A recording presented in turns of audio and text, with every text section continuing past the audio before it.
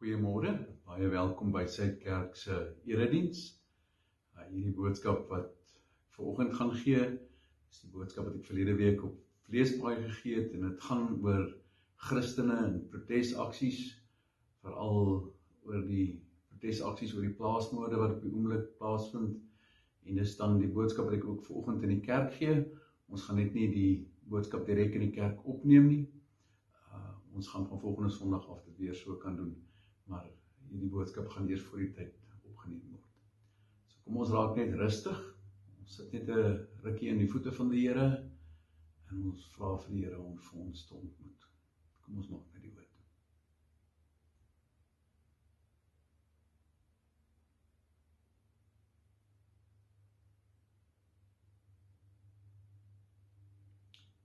Die aarde en alles wat daarop is, die wêreld en die wat daarin woon alles behoort aan die Here. Amen. Die gemeente genade, barmhartigheid en vrede van ons drie enige God, Vader, Seun en Heilige Gees. Kom ons begin met 'n loflied vanoggend. Ons sing lied 205. Ons sing die eerste en die derde vers. Bring lof aan die Vader.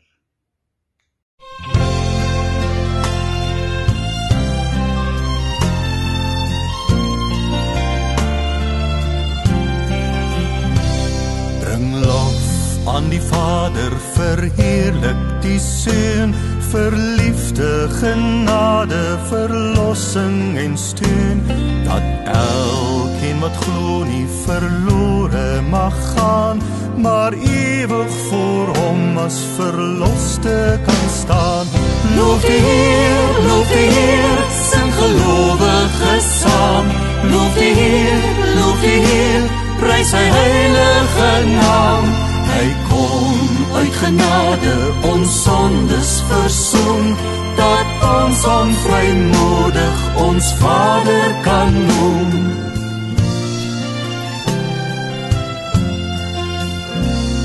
Ons lof, ons aanbidding, o Vader, ons lied is nietige klanke deur kinders gebied. Tog sien U ons nood en verhoor ons gebed.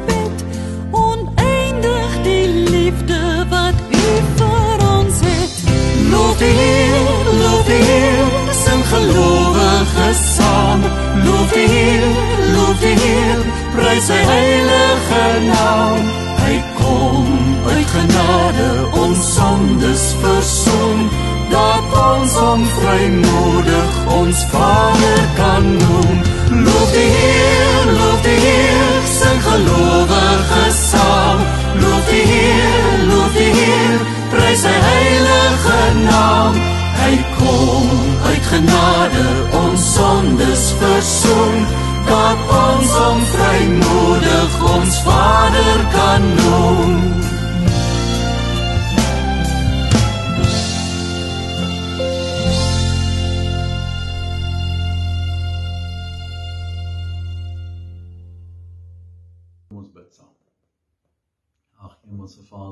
Ons goed. Dankie dat ons 'n nuwe dag het. Dankie dat U vir ons die lewe gee as 'n geskenk in hierdie dag. Dankie dat ons weet dat waar ons ook al is, is U by ons. U is by ons in die eredienste. U is by die mense wat by die huis is. U is by by die mense wat oor die wêreld heen ook na na boodskappe luister vandag, ook na hierdie boodskap. Maar ons weet hy word wyd ook uitgestuur. Here ons wil vra dat U die woord sal seën volgend.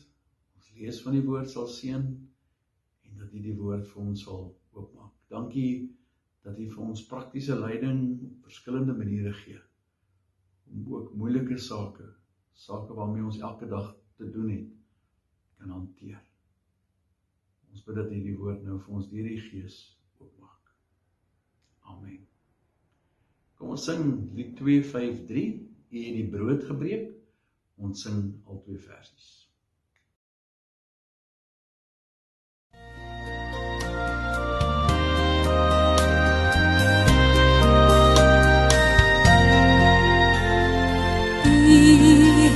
die brood gebreek eens by die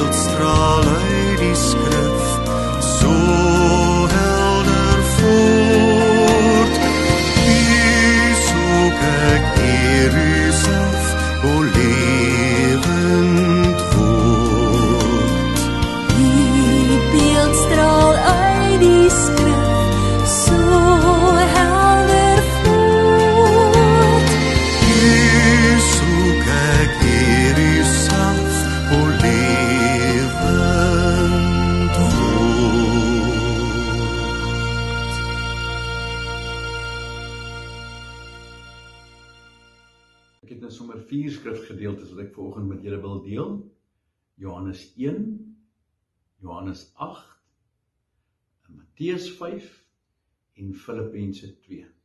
Jy kan nou maar die videoetjie hier stop, so ek hoef nou nie kans te gee dat jy eers opsoek nie. Ek kan maar net begin lees. Ons lees dan in Johannes 1 van vers 1 af.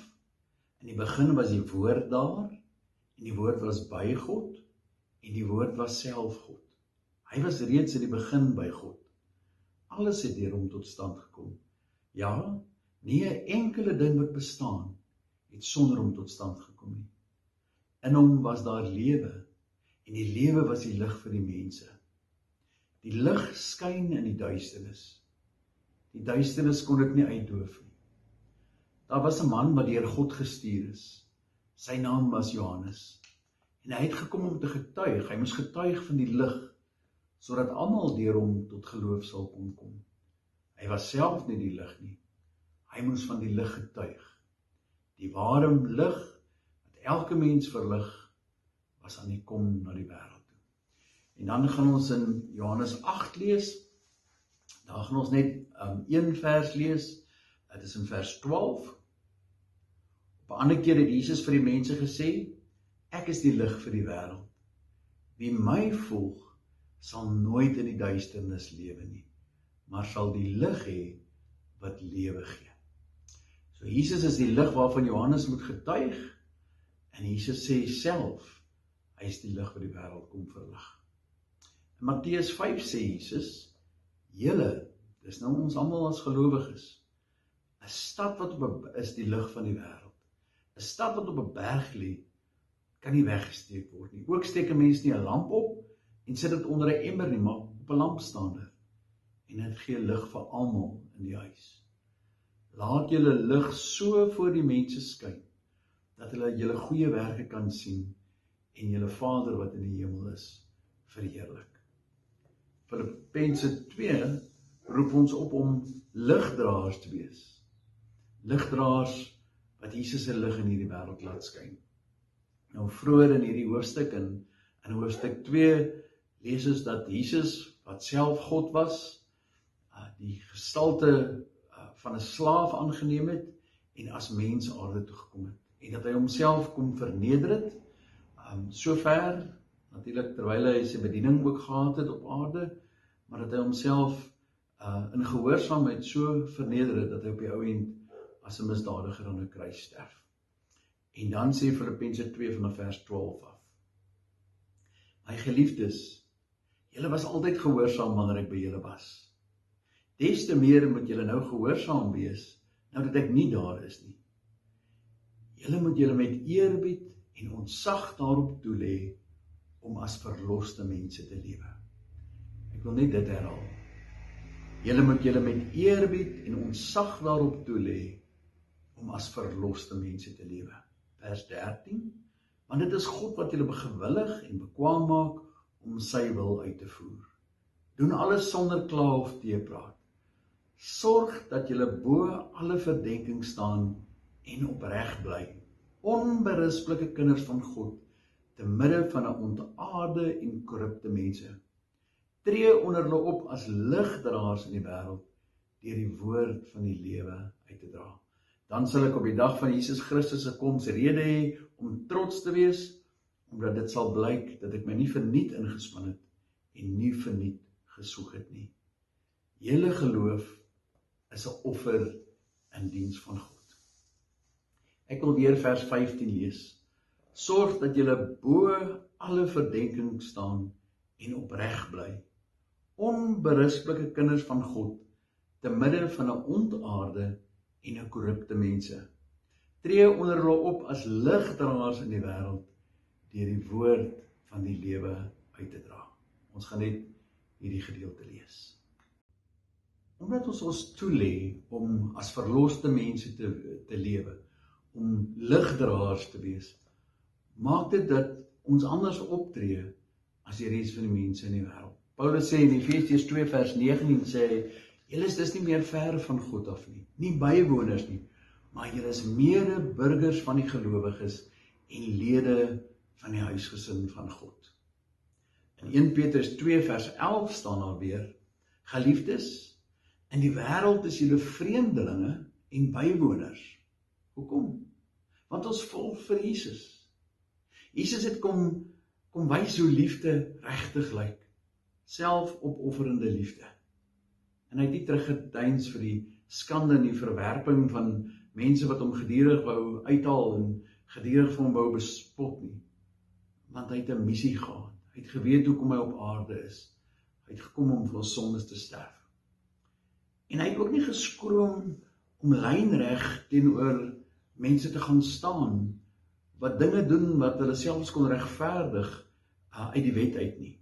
Um, ongeag of hulle geglo het hulle doen iets in die naam van God of nie, het Jesus nog altyd teen hulle gaan staan en sy gedink het hulle is verkeerd. Ons dink aan die oorspelige vrou en hoe hulle haar met klippe wou doodgegooi het en hoe Jesus besluit het om om langs haar te gaan staan. Jesus se eerste preek, die bergrede, gaan so lynreg in teen die samelewing se norme. Jesus begin by die saligsprekinge, Matteus 5 en dan sê hy 'n hele klomp goed wat na swakheid in die oë van die wêreld lyk. Maar wat nie swakheid in God se oë is nie. Dit word deur God beloon. Ek gaan nie die hele gedeelte lees nie, maar net 'n klompie verse. Luister hier na vers 3.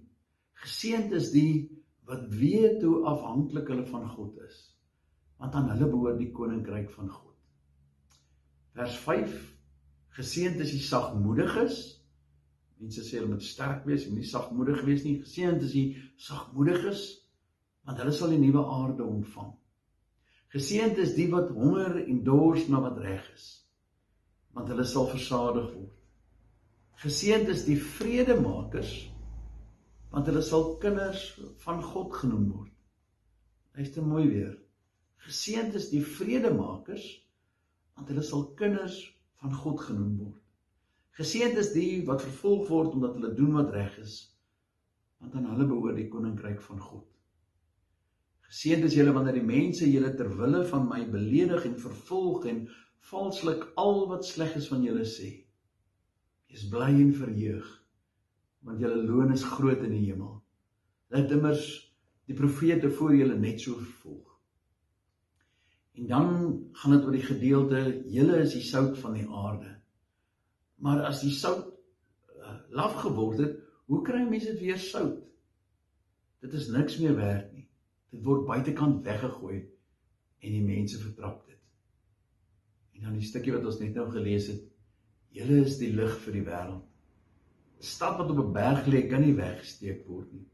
Ook steek 'n mens nie 'n lamp op en sit dit onder 'n emmer nie, maar op 'n lampstander en dit gee vir almal lig in die huis.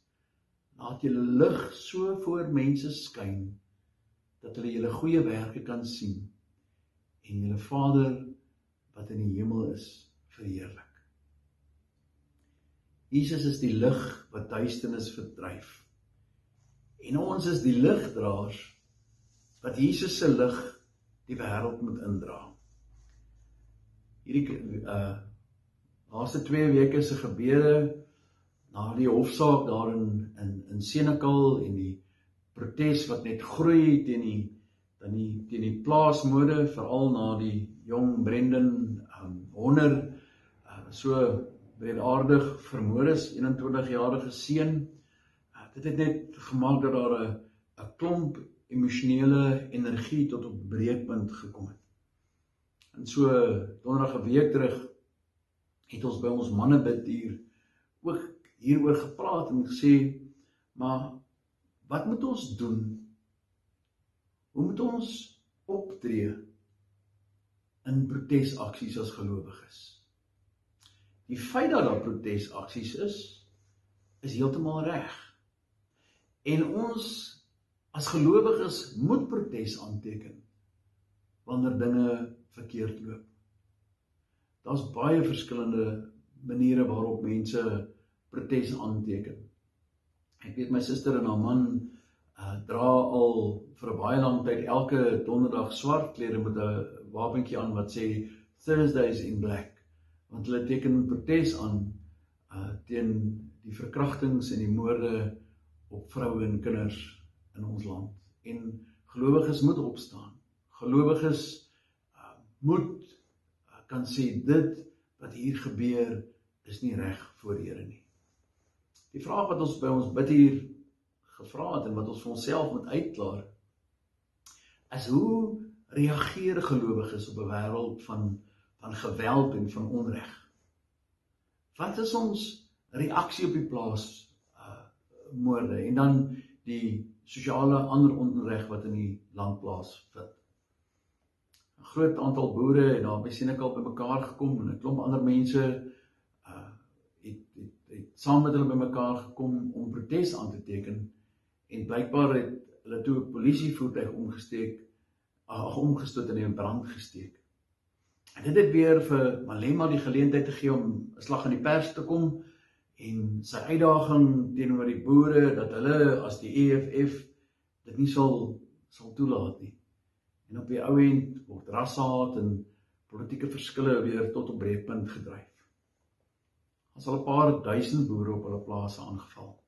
En hierdie week was daar weer iemand uh, wat op hulle plaas aangeval is. Die persoon het daarom oorleef Maar mense word dikwels wreed aangeval en hulle word vermoor.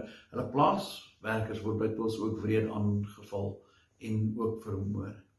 En by die meeste van ons is daar 'n matelose en 'n magtelose woede daaroor. In een straat in in in Vleesbaai is daar twee gesinne uh, wat se kinders en kleinkinders albei slagoffers was uh, van plaas uh, aanvalle.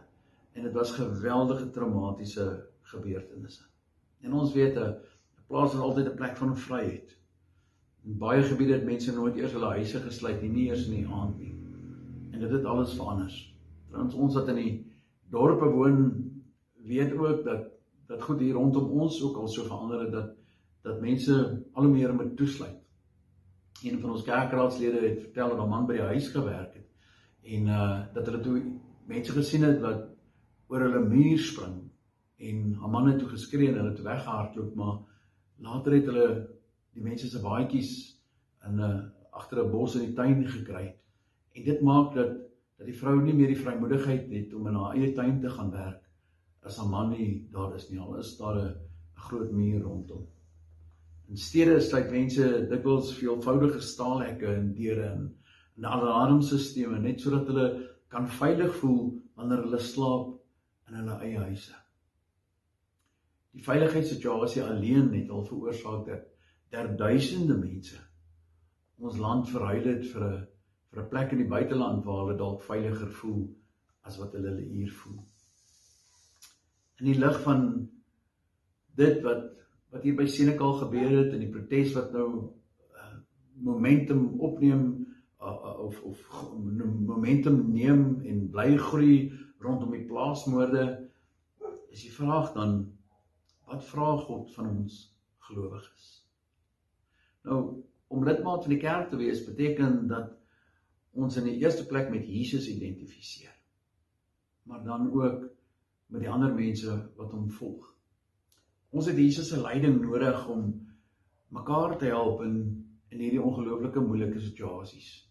Ons het mekaar as gelowiges nodig om mekaar te bemoedig en mekaar aan te moedig, mekaar te versorg, maar ook om vir mekaar te vermaan om saam te bid, saam leiding te leiding by die Here te soek sodat ons in die styl van Jesus en nie in die styl van Malema optree wanneer ons reageer nie. Dis nie waarvoor ons geroep word nie. Daar is nie net een of twee maniere hoe 'n mens uh, kan reageer nie. Mens gaan nie of met geweld reageer of net niks doen nie. Gelowiges kan en en moet verseker protes aanteken deur byeenkomste deur ander forme van vreedsame verset. Maar ons kan en ons mag nie op dieselfde manier reageer as mense wat nie die Here ken nie. Daarom vra ons die Godsvrae wat ek oor en oor vra, wie is God? Wie is ons? En dan spesifiek dalk vanoggend na wie toe roep God ons of waartoe roep God ons selfs in die moeilikste van omstandighede. Ek glo met my hele hart dat God iets wat donker is en lelik is, wat 'n uitvloeisel is van van dit wat die bose wil bereik deur vrees en haat en vyandskap te saai, deur God omgekeer kan word en dat God se lig duisternis kan kan oorwin. Ek glo ook met my hele hart dat dit gewoonlik God se kinders is wat hy gebruik om lig in die duisternis te bring. Hoe meer ons die drie enige God verstaan, hoe beter ons verstaan wie ons as gelowiges is, hoe duideliker verstaan ons ook op die ou end waartoe God ons roep. En dis nie om deel te gaan word van die geweld en die chaos nie, maar om in die duisternis God se lig te laat skyn. As daar een kenmerk is waardeur Jesus se volgelinge dwars deur die wêreld erken en herken moet word, is dit juis hulle liefde. Beteken ook dat hulle aan die kant gaan staan van die mense wat seer kry, wat onreg beleef.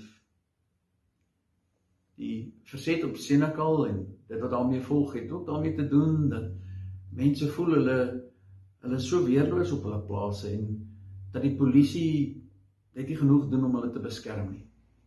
En daar's nie fout om in solidariteit langs hierdie mense te gaan staan nie. Maar dan moet ons dit op maniere doen waarop ons Jesus se lig laat skyn en wat nie donkerte en haat en rasisme help bevorder nie. Ons moet verseker nie op op so mense manier langs mense gaan staan dat ons assosieer word met gedrag wat Jesus se lig in ons uitdoof nie. In die apartheidsjare was daar 'n 'n man gewees wat 'n evangelis was. Hy uh het uitgegaan en en hy het gaan preek oor God se liefde en God se vergifnis en die verlossing wat daar in Jesus is. En daar het mense na hom toe gekom en gesê maar hulle wil nie nou 'n boodskap van liefde hoor nie. Hulle wil mense opstoot vir 'n revolusie en daarvoor het hulle mense nodig wat kwaad is, het hulle mense nodig wat verontreg voel, het hulle mense nodig wat wat gaan opstaan en en gaan beklei. En hierdie man het net gesê dis nie die boodskap wat hy gaan verkondig nie. Hy sal bly om God se liefde te verkondig wat daar in Jesus Christus vir elkeen van ons is. En eendag uh een aand eintlik vir sy seun wat omtrent 13 of 14 jaar oud was, het uh die mense hom vermoor. En sy vrou, haar naam is Grace Dube, het aangegaan met sy sy bediening. Sy het aangegaan en sy bly preek oor liefde en bly preek oor God se genade en God se vergifnis. En een aand by een van haar dienste toe kom daar 'n man vorentoe. En sy kon sien hy's baie gespanne. En hy sê vir haar hy moet kom bely. Hy's een van die mans wat daardie aand daar was wat haar man kom vermoor het. Om deel gehad het aan haar man se moord. Sy kon hom in die oë kyk en sy kon vir hom sê maar ek het julle almal al lankal vergewe vir jou ook. En dit was iemand wat so pad van vergifnis vir homself opgegaan het en wat sy eie verhouding met God weer kon herstel. Nou ek lees so 'n mooi storie oor die tyd en ek sluit daarmee af. Dis 'n mooi storie oor die tyd toe daar nog parafienligte was. En dat werkers in die aand uitgegaan het en dit hulle elkeen van hierdie ligte gaan aansteek het. Daar was 'n seentjie gewees ja, wat een aand na na die ligte gekyk het. Ek weet nie of dit die eerste keer wat was wat hy dit gesien het nie, maar maar toe hou hy hulle so rukkie dop soos hulle die ligte aansteek en hy draai om in die hart op in die huis in en hy skree: uh, "Pappa, pappa, kyk daardie mense maak gate in die donker." Vriende mag die Here Jesus se lig so deur ons skyn dat ons ook gate in die uh, donker maak. Ons is nie die lig nie. Ons moet net in navolgingskap van Jesus eenvoudig toelaat dat sy lig deur ons skyn. Dis waarvoor hy ons roep. Amen. Ek gee 'n rukkie kans vir vir ootmoediging.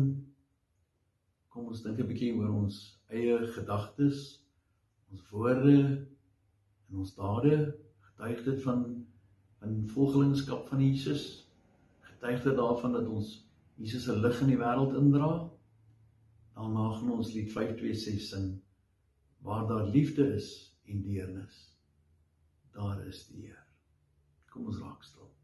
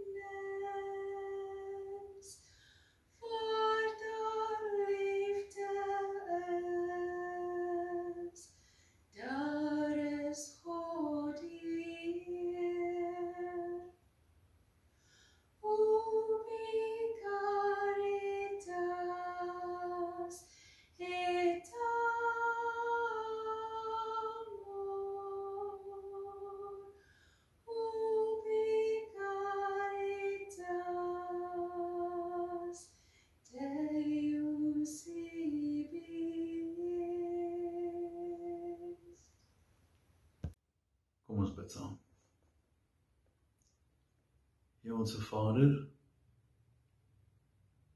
ons kom bely dat ons ook soveel kere rondom ons in omstandighede vaskyk dat ons dit wil so beïnvloed word met almal se negativiteit rondom ons die nuwe negatiewe omstandighede waarin ons is dat die donkerte vir ons ook wil oorval.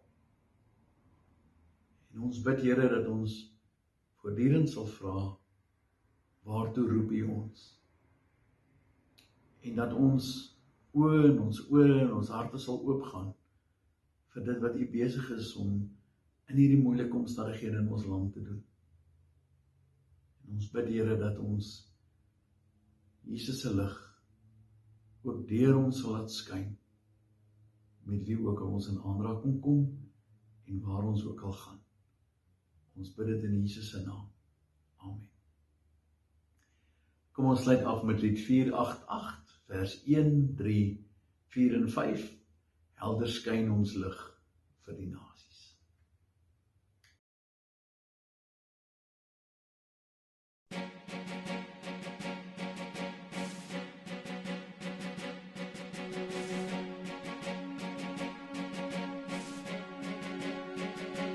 Helder skyn die lig vir die nasies.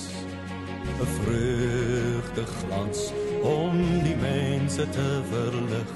Tot die hele wêreld kan sien U is die lig. Mag